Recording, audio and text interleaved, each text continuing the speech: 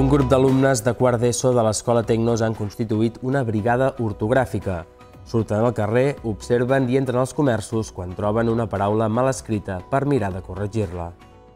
Terrassa ha acollit per primera vegada la Fira Esplai. Jocs i tallers han conviscut amb grans diorames i figures gegants amb els cèlebres clics de Playmobil en una gran fira del col·leccionisme. Càritas de Sant Cugat ha arribat enguany al 50è aniversari. L'entitat atén a l'any unes 800 persones que fan servir el menjador social, viuen al seu pis per a persones sense sostre i al banc d'aliments.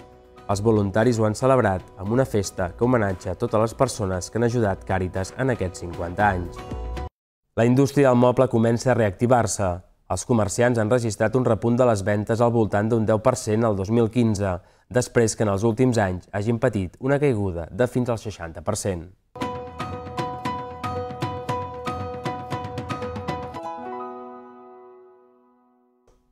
Benvinguts de nou a la Setmana del Vallès Occidental. Un grup d'alumnes de quart d'ESO de l'Escola Tecnos han constituït una brigada ortogràfica. Surten al carrer, observen i entren als comerços quan troben una paraula mal escrita per mirar de corregir-la.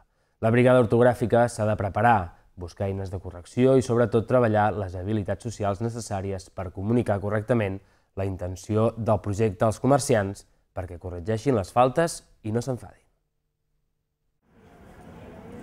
Hi ha alguna falta ortogràfica en aquest cartell i en aquest aparador?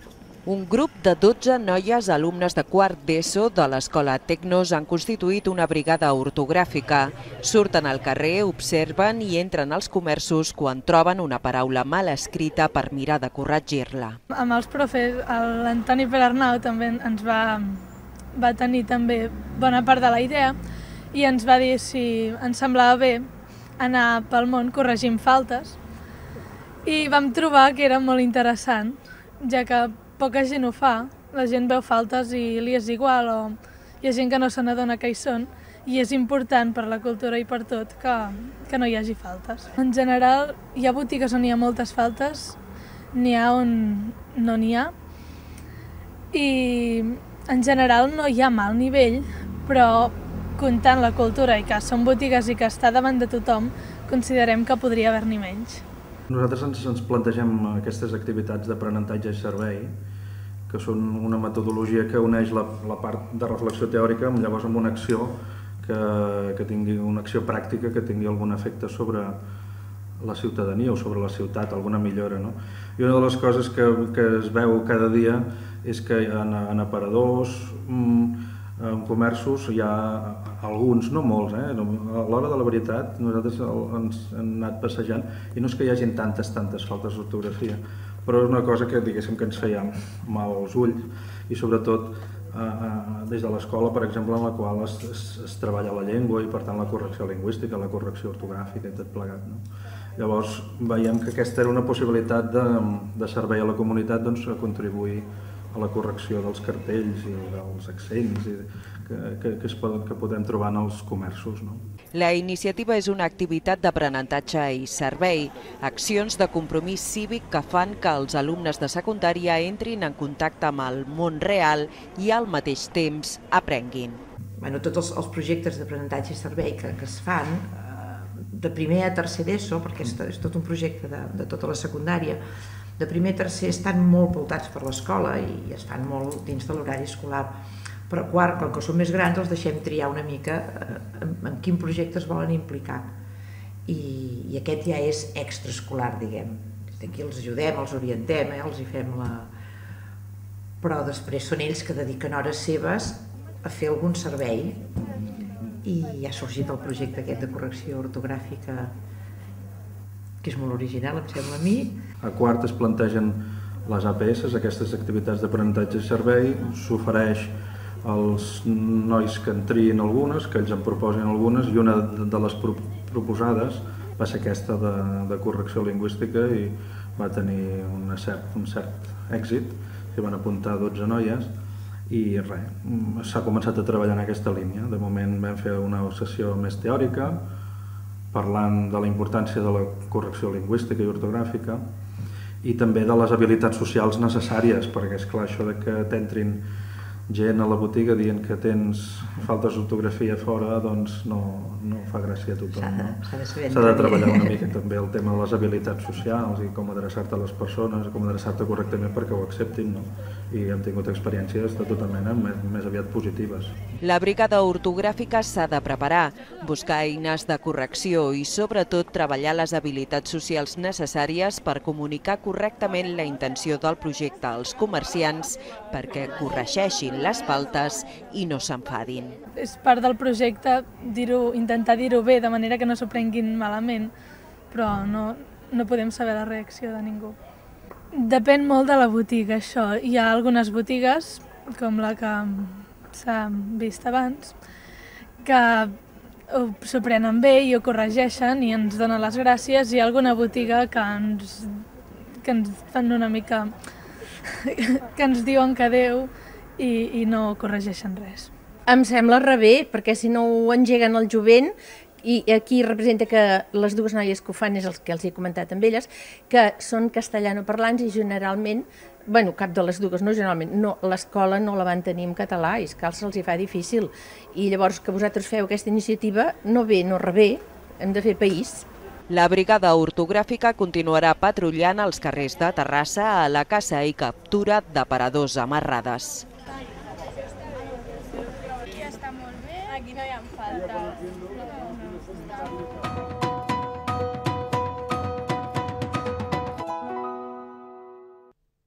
Aquest darrer cap de setmana del mes de maig, Terrassa ha acollit per primera vegada la Fira Esplai.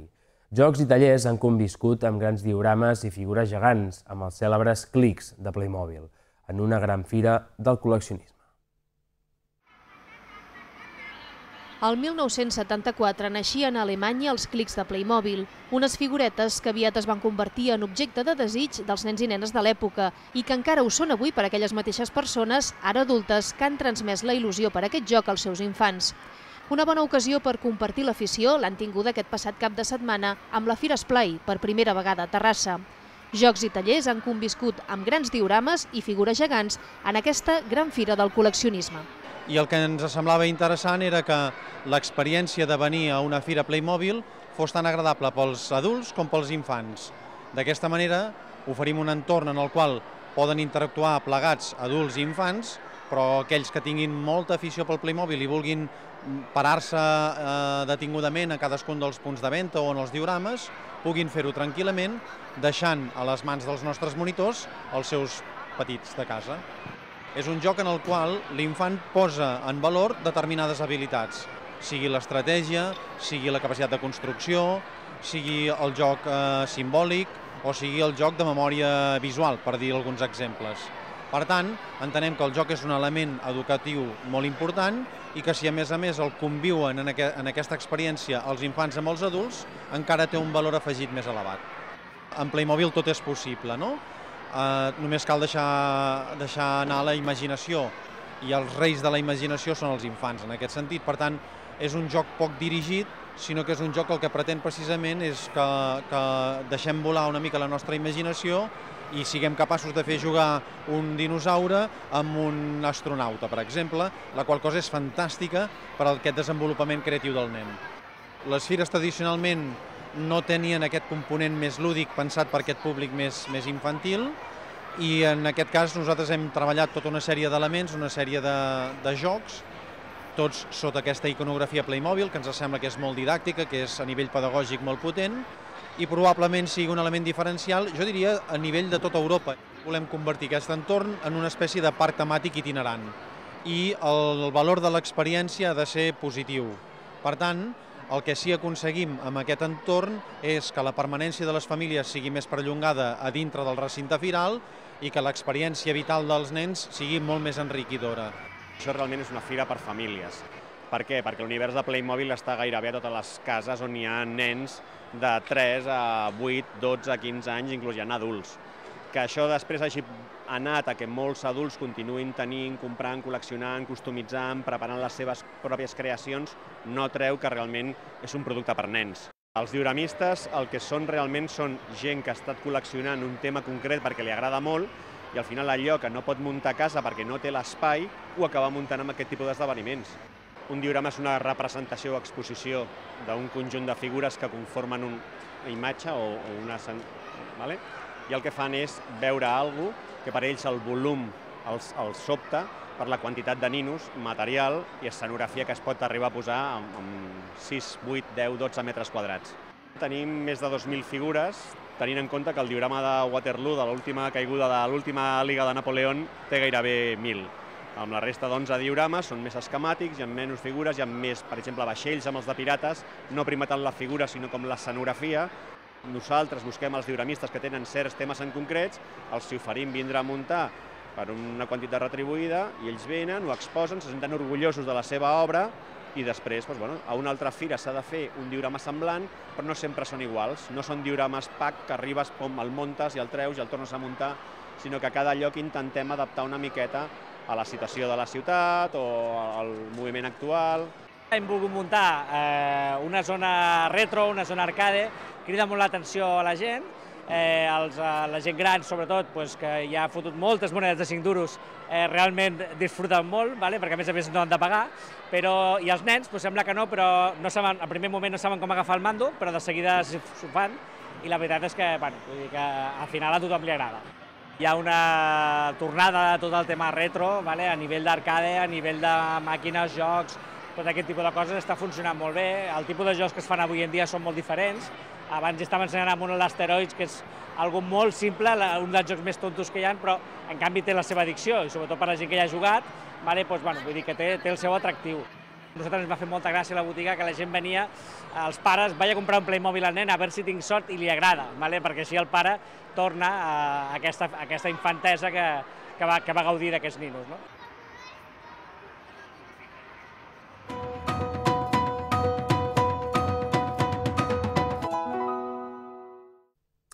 Càritas a Sant Cugat arriba enguany al 50è aniversari. L'entitat atén a l'any unes 800 persones que fan servir el menjador social, viuen al seu pis per a persones sense sostre i el banc d'aliments. Els voluntaris ho han celebrat amb una festa que homenatja totes les persones que han ajudat a Càritas en aquests 50 anys. Càritas Sant Cugat ha celebrat aquest mes el 50è aniversari a la ciutat amb una festa que ha homenatjat voluntaris i donants d'una organització amb fortes arrels a Sant Cugat, unes arrels que s'han estès en diverses direccions en els últims anys. L'entitat ha ampliat la cartera de serveis al ritme de les demandes de les persones que han necessitat la seva ajuda. Càritas va néixer a mitjans del segle XX per institucionalitzar i canalitzar la feina caritativa que feia l'Església perquè vol dir que hi va haver un moment en què es va organitzar i es va donar nom a una activitat que es venia fent des de sempre, que és ser sensible amb la gent necessitada i ajudar-los. Això ja és constitucional a les comunitats cristianes. Durant bona part de la seva història, Càritas va centralitzar les seves activitats a la Casa Bacial del monestir de Sant Cugat, fins al 2011, quan van poder estrenar un nou local per l'entitat que va permetre eixamplar l'ajuda. Llavors, eh, un punt d'inflexió a la Càritas de Sant Cugat aquests últims anys va ser l'any 2011, que eh, amb el treball previ dels anys anteriors vam, poder, vam tenir la sort i l'oportunitat de poder obrir el nou local que està situat al carrer Orient, que és el Recer, on vam poder ampliar el magatzem d'aliments, vam poder obrir un menjador social que era necessari a, a, a la ciutadania i vam ampliar diferents projectes. Càritas atén aproximadament unes 800 persones l'any a la ciutat, una xifra que contrasta amb les estadístiques que asseguren que Sant Cugat és el municipi més ric de Catalunya. Precisament, els voluntaris i responsables de l'entitat asseguren que cal insistir en que també hi ha persones que necessiten ajuda a Sant Cugat. Jo penso que els que venen, em poso en el seu lloc, la majoria passen fatal perquè ja venen i venen a demanar. Dir, llavors, tu has de procurar que, com si vinguessin, jo que sé, a passar un rato, i per això parles amb ells, o et pregunten com estàs, què t'ha passat, oi, t'has hecho daño, no, que se ha muerto mi padre, mare de Déu, un disgust tenim, vull dir, coses així, però clar, això depèn també de cada voluntari. A principis del segle XXI, els nous immigrants van anar guanyant pes entre les persones assistides. En el cas de Sant Cugat, bona part de les persones que van arribar a la ciutat ho van fer per dedicar-se al servei domèstic. La onada de migració a principis de l'any 2000, 2000 i poc, aquí a Sant Cugat vam, vam notar no? que, que hi havia molta gent nouvinguda que venia a treballar per la crida de la demanda de servei domèstic. No? Vam ser dels primers que vam notar el, el, el, que estava passant alguna cosa abans de que es comuniqués formalment o s'informés formalment de que hi havia una crisi, no? una situació d'emergència, perquè clar, aquelles famílies que, que pitjor ho estaven passant van ser les primeres en, en caure en aquesta situació. Amb la crisi, l'arribada d'immigrants es va reduir i alguns van marxar, però el nombre de persones ateses no va disminuir. Les persones nascudes a Catalunya a poc a poc van anar guanyant pes amb l'augment de l'atur i la brusca frenada de l'economia. Ara mateix, Càritas ofereix un menjador social per persones que no tenen cuina o no poden cuinar, dutxes i fins i tot un pis per persones que viuen al carrer. Amb l'Ajuntament ens van cedir un pis de promussa a un preu raonable i són, és un pis per tres persones que vivien al carrer i fins i tot n'hi havia un, curiosament, com a cosa anecdòtica, que dormia en un bar a canvi de que durant el dia doncs, ajudava a rentar plats i tal, i a la nit li tancaven el bar i ell es quedava allà dormint. Bueno, I ara ja fa com 3 anys que funciona i estem contents perquè realment pensem que se'ls ha donat una llar a aquesta gent que no sempre és fàcil perquè estan acostumats a ser ocells molt lliures i això de, de conviure, si a tots ens costa, a ells els costa especialment. No? Això sí, l'ajuda més demandada està relacionada amb el menjar. La col·laboració amb el Banc d'Aliments és clau per poder oferir aquest servei, però l'entitat Sant Cugatenca completa les cistelles amb els productes d'un hort propi a Vall d'Oreix que permet fer arribar també productes frescos a les famílies que ho necessiten. Càritas Sant Cugat compta ara mateix amb 203 voluntaris, cadascú hi dedica el temps que pot, i poden triar diversos projectes. L'entitat també dona suport a les persones que ho necessiten a formar-se per trobar una feina, a fer-se un currículum actualitzat i aprendre castellà o català, una feina que des de la parròquia de Sant Pere d'Octavià es considera imprescindible. I ara té unes necessitats la societat que algunes les resol l'administració i aquestes ja queden resoltes. Llavors, Càritas ha de procurar què és el que queda penjat i quan es resol una cosa se'n despenja una altra. Això és la vida de la societat. I és, els més pobres, els més desatesos són els que hem de procurar atendre i, a més a més, conscienciar a tothom que, que és molt humà de fer-ho i que dimitir de ser persona, això no s'ha de fer mai. L'entitat ha celebrat el cinquantenari amb una festa a la plaça d'Octavià, just davant del monestir, on música, ball i activitats han servit per celebrar aquests 50 anys de compromís amb els més vulnerables.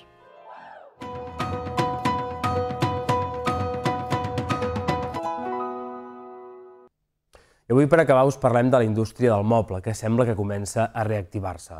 Els comerciants han registrat un repunt de les ventes al voltant d'un 10% el 2015, després que en els últims anys hagin patit una caiguda de fins al 60%. Els professionals del sector s'han vist obligats a reformular les estratègies de venda i adaptar-se a la demanda del mercat. El model, però, s'ha diversificat amb els mobles de proximitat, els low cost i els de segona mà. Tot té una segona oportunitat, fins i tot els mobles. Ara, en lloc de comprar un capçal de llit nou, hi ha clients que prefereixen invertir en el disseny d'una funda nova i estalviar-se l'adquisició d'un producte similar. Fa 30 anys que Mobles Perpinyà es dedica a la tapisseria i a la venda de mobles de gamma alta. Amb la baixada d'un 60% de les vendes en els últims anys, aquesta botiga ha vist com la clientela opta per donar-li una segona vida als mobles. El problema és que no es poden arranjar tots els articles que reben.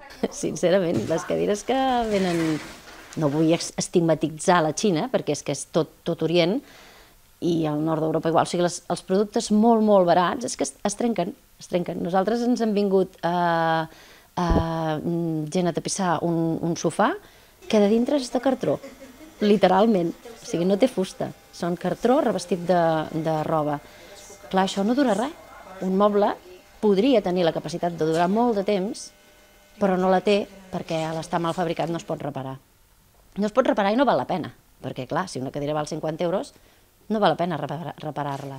Pel que fa a la venda, s'han diferenciat en mobles a mida i han diversificat el nombre de proveïdors per oferir preus més econòmics. Enguany han pogut incrementar un 10% la facturació. Nosaltres hem acabat especialitzant-nos en lo complicat, en lo fet a mida, en lo difícil, i això també fa que el, que el preu pugi. O sigui, les nostres ventes van reduir ràpidament un 50% i es va estabilitzar ens vam quedar aquí i llavors hem anat augmentant i anem augmentant molt a poc a poc. Eh, doncs l'any passat vam augmentar un 10%, potser aquest any tornarem a augmentar un 10%, però anem sosteniblement augmentant, però molt a poc a poc. La crisi econòmica ha promogut la irrupció del low cost. Les botigues de mobles més econòmics com aquesta justifiquen que poden ajustar els seus preus perquè treballen amb una franquícia. Eh, podem oferir als clients tant mobles de qualitat com mobles més assequibles i mobles mitjans. És a dir, tenim una gamma àmplia de, de, de fabricants molt nacionals, principalment són molt nacionals. Tenim una plataforma molt gran a nivell nacional de la franquícia i per això tenim aquests preus tan competitius. Tot i així no treu que també hagi notat una davallada de les vendes en els últims anys. Els mobles més cars, doncs sí, potser sí, ha pogut donar una miqueta més de baixada, però hi ha clients per, per a tot. Vull dir, hi ha clients que busquen una, més qualitat, aquí també se l'oferim, eh, busca, hi ha clients que busquen una qualitat mitja, també la tenim, una qualitat més baixeta, també la tenim. Això és l'important, que puguem complir amb, els, amb l'expectativa del client que entra per la porta i pregunta, jo vull això, tu tens? Sí, ho tenim, t'ho podem oferir. La cultura del quilòmetre zero no només s'identifica amb la gastronomia. Valveny destaca que aposten fermament per vendre productes principalment de proximitat, com per exemple aquesta taula que es fabrica al Cuber. Exemple, tenim una zona mm, de la Garriga o de la Sènia, que està aquí al costat, que encara són productors de mobles i, clar, hem de pensar que quan comprem un moble fabricat aquí al costat, estem fent un, un, un bé a l'economia de prop. Si podem comprar a, a 10 metres, no comprar a 100. I si podem comprar a 100, no comprar a 500 o a 1.000. Un dels negocis que ha guanyat més pes és el de la segona mà, al Troc disposen de 3.000 metres quadrats d'articles usats. La majoria són mobles i entre els efectes de la crisi i l'interès a l'alça dels articles vintage s'han fet un lloc important al mercat. Ahora la gente está comprando mucho producto de segunda mano, ya no hablar por crisis, sino porque la gente ya se está acostumbrando a que no está mal comprar productos de segunda mano, porque es eh, reutilizar algo que podría ir a la basura. Yo lo veo más también como una parte de labor social. ¿sabes? Porque el, el, la fecha de caducidad de los productos, ¿por qué están impuestas? Si un televisor, eh, porque no me sirva, no lo tengo que tirar. Lo traes aquí, nosotros lo compramos, lo dejas en depósito y eso le servirá a otra persona. Bueno, he venido un poco a curiosear porque próximamente aquí en Reus vamos a abrir una discoteca con un toque muy vintage, muy ochentero, setentero y justamente estoy buscando muebles y un poco de decoración para la discoteca. Aquí viene mucha gente que, por ejemplo, tiene pisos para alquilar y en vez de ir a comprar cosas nuevas las trae aquí porque tampoco hay productos que estén mmm, rotos ni nada, simplemente es que alguien no lo quiere, no lo necesita, lo deja aquí y viene otra persona que lo necesita y se lo lleva. Ja està, per un precio menor, òbviamente, i, i le da una reutilització a este producte. Els comerciants del moble han obert també nous horitzons a través de les botigues online i amb l'obertura d'altres espais com els outlets, que generen un efecte crida per la clientela i els garanteix vendes. La paraula rebaixes està tan gastada que, no, que crec que ja no, la gent no reacciona a la paraula rebaixes. La paraula outlet ens ha semblat que, que potser faria, faria reaccionar, o sigui, faria, faria venir gent. I sembla que sí, sembla que outlet Mobles Perpinyà, la gent pensa, uf, això serà molt barat, anem a veure-ho. Si més no, sembla que ve molta gent a, a mirar-ho. D'una manera o altra, els professionals del sector s'han vist obligats a reformular les estratègies de venda i adaptar-se a la demanda del mercat que ha diversificat l'oferta amb els mobles de proximitat, els low cost i els de segona mà.